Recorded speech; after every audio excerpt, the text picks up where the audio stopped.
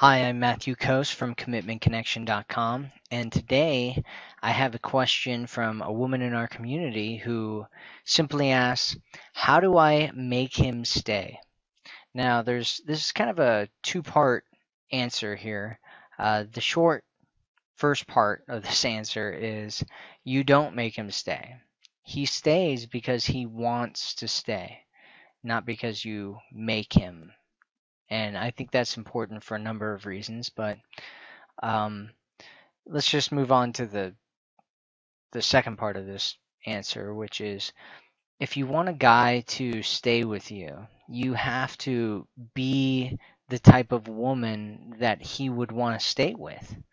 Um, and that really boils down more than anything to a concept that I call alignment being in alignment with him and him being in alignment with you. He has to be able to see you as someone that he could be with in a long term committed relationship. He has to see you as the type of woman that he wants to be with forever. That's the only way that he's going to stay with you. If he doesn't see you in that way, it doesn't matter what you say to him.